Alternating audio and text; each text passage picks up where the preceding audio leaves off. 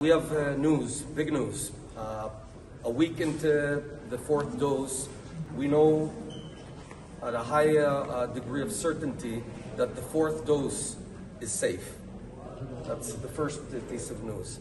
The second piece of news, we know uh, that a week after uh, the administration of the fourth dose, we see a five-fold increase in the number of antibodies uh, in the vaccinated uh, person.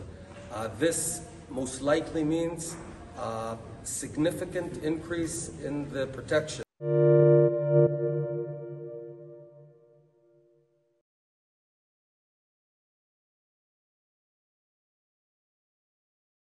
The biggest stories the moment they happen from around the globe. Subscribe to Bloomberg Quicktake now for insight in an instant.